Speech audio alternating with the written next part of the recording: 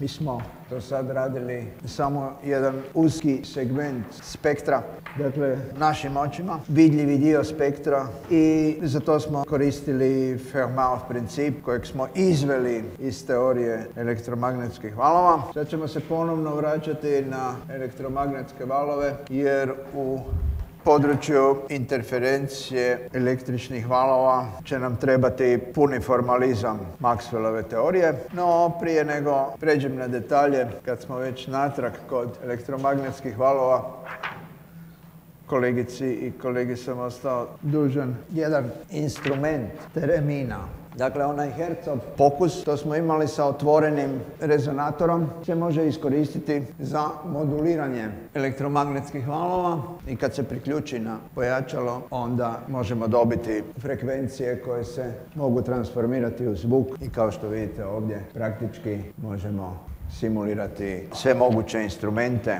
na teremini. Mi ćemo se danas dobrim dijelom zabavljati superpozicijom i interferencijom. Ovdje imate jedan poznati primjer iz vaše struke, čija analiza nije definitivno pokazala da je tu stvarno glavnu ulogu igrala superpozicija, ali u svakom slučaju s obzirom na oscilacije i vrlo velike amplitude može se zaključiti da stvarno je ulogu igrala superpozicija i da je bilo interferencije, a uzrok rušenja mosta je u zamoru materijala. Sada da se vratimo na naš vidljivi spektar, promotrit ćemo interferenciju koju smo radili prošli puta sa polovim tincem, dakle refleksijom na vrlo tankom filmu i s Newtonovim kolobarima. Mi smo bili rekli, gledajući sukcesivne događaje u vremenu, da možemo zaključiti kako foton interferira sam sa sobom. Zbog toga jer ako puštamo kroz ovakav zastor sa dvije pukotine, jedan po jedan foton, recimo svake mikrosekunde po jedan, svaki od njih će negdje doći i biti zabilježen na fotografskoj ploči. Međutim, kada mi pričekamo dovoljno dugo vrijeme da tisuće i milioni fotona dođu na ploču i budu zabilježeni, mi vidimo da oni dolaze na tu ploču po nekom pravilu, dakle da imaju, da tako kažemo, preferenciju da dođu na određene pruge, a ne na ove druge. Dakle, neke pruge će biti svjetle, a druge će biti tamne, imat ćemo konstruktivnu i destruktivnu interferenciju. Sad ćemo malo detaljnije pogledati kako to možemo dobiti. Ovdje vidimo jedan izvor iza dvije pukotine, no međutim tu možda nije sasvim jasno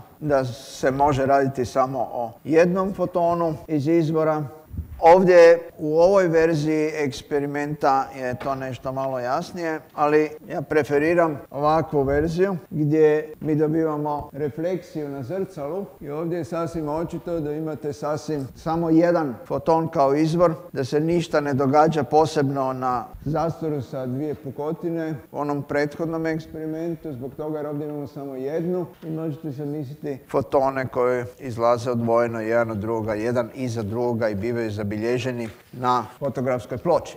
I to ćemo sada onda izračunati da vidimo kako možemo doći do naših pruga.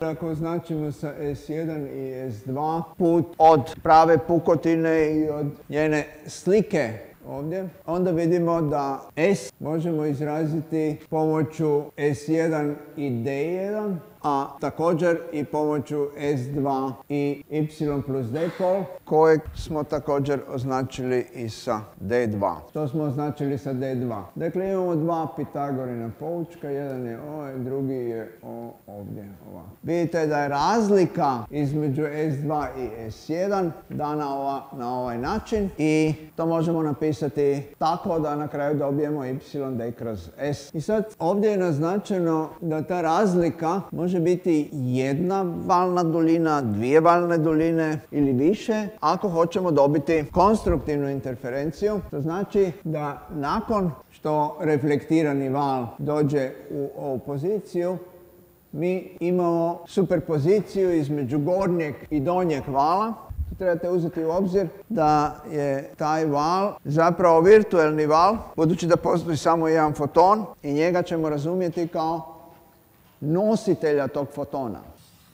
U slučaju kada se ta dva vala podudaraju, oni konstruktivno interferiraju, dakle imamo konstruktivnu interferenciju. Za slučaj kada dođu u protufazu, a to će biti ovdje između ili iznad, intenzitet ovdje će biti nula. Ovdje vidjet ćemo intenzitet će biti 4 ako uzmemo da je intenzitet svakog od vala 1. Prošli puta smo izveli tu formulu za superpoziciju i sada je možemo iskoristiti da bismo dobili izraz za ukupan intenzitet kojeg ćemo povezati sa ovim rezultatom ovdje. Delta mora biti cijelobrojni višekratnik valnih duljina da bismo dobili konstruktivnu interferenciju. Ovdje imamo jedno i drugo za konstruktivnu interferenciju i za destruktivnu interferenciju. S tim da je ovaj delta iz one formule koje smo dobili prošli puta povezan sa našim geometrijskim velikim delta na sljedeći način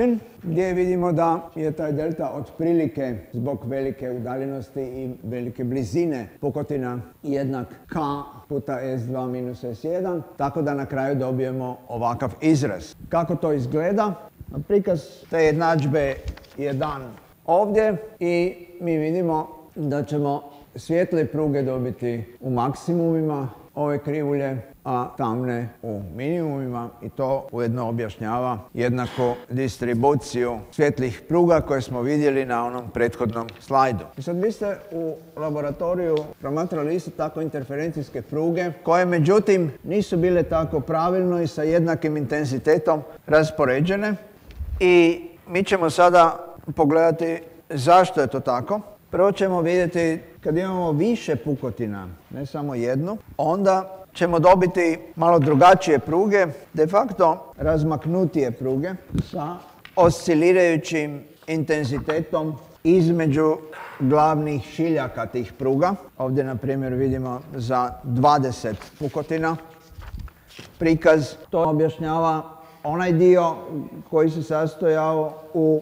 tamnim prugama koje nisu bile sasvim tamne. No, postoji još jedan efekt, a to je ogib ili difrakcija. Naime, svaka pukotina se može po Huygens-Frenelovom principu prikazati kao niz izvora valova. Ja opet napominjem da izvor vala ovdje znači samo izvor vala nosioca fotona. I to znači da mi moramo uzeti u obzir sve takve potencijalne izvore, što će se onda svesti na rezultat koji se zove ogib ili difrakcija za razliku od interferencije gdje vidite da intenzitet dobivene superpozicije valova iz pojedine pukotine, dakle svake od pukotina, pada sa udaljenošću od srednjeg položaja i to je pravo objašnjenje zašto ste vi vidjeli u vašem eksperimentu smanjenje intenziteta svjetle pruge daleko od srednjeg položaja. Jer će ogib na pukotini imati odraza na sliku koju ćemo vi imati i za dvije pukotine.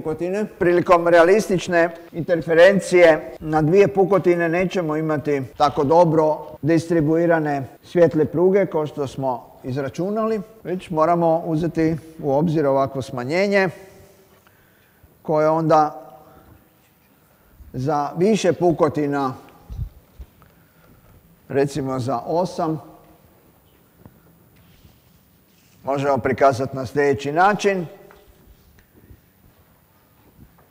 I cijeli prikaz kojeg imamo ovdje za difrakciju možemo sistematizirati na sljedeći način. Ovdje imamo kombinaciju interferencije i ogiba sa nazivima pojedinih šiljaka, dakle interferencije, maksimumi i jedna envelopa koja znači opadanje ukupnog intenziteta. Difrakcija je, kao što smo rekli, kompliciranija za izračunati, no međutim, difrakcija sama po sebi je i puno složenija Pa upravo zbog ovog beskonačnog broja doprinosa koje trebamo uzeti u obzir na svakom distribuiranom izvoru ili kod interferencije na više pukotina i to možemo dobro ilustrirati prikazom Henelove s obzirom na Fraunhoferovu difrakciju odnosno ogib i fokus kojeg možemo poslije izbliza pogledati jer je on pre slabog intenziteta da bismo ga mogli vidjeti. Ovo je prikaz onoga što ćemo ovdje demonstrirati. Za sada samo za one koji su najbliži zidu. Naime, ako smo u području Hanelove difrakcije, odnosno ogiba i stavimo jedan zaslon na put svjetlosti, onda će svjetlost difraktirati oko te prepreke, to je ogibnut će se oko nje i konstruktivno će se interferirati u središtu.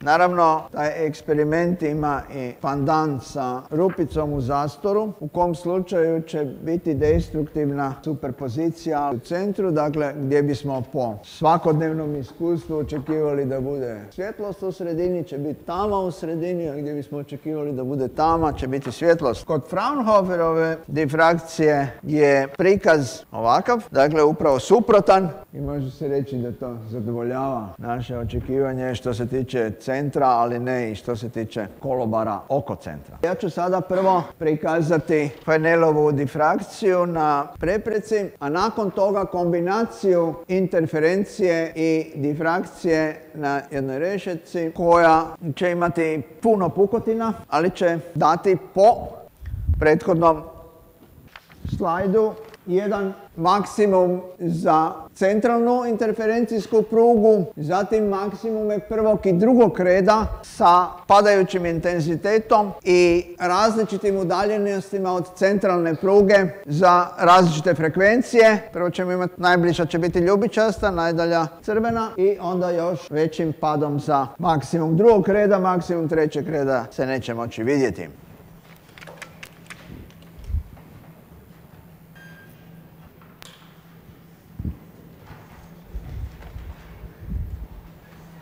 Prvo da vidimo Penelov ogib.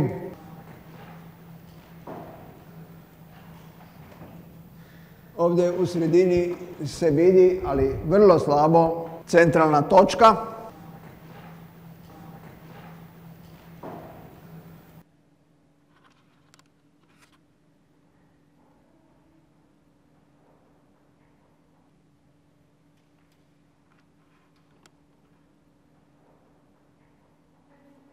Međutim, ovo se puno bolje vidi. Ovo je kombinacija interferencije i difrakcije. Vi ovdje vidite ljubičastu liniju, a ovdje zelenu i žutu. Ova bijela linija u sredini je centralna linija i ako ja pomaknem cijeli zastor, onda vidite da se ponovno pojavljuju te pruge, samo ovaj puta kao maksimum i drugog reda. Vidi se ljubičasta drugog reda, zelena drugog reda, žuta drugog reda. Naravno da to isto postoji i s druge strane što možete vidjeti ovdje na ploči od centra. Ovdje na ploči je sada centralna pruga i pruge prvog reda. Ali ovdje ako neko ima bolji kut gledanja može vidjeti drugi maksimum. Ja predlažem da napravimo pauzu.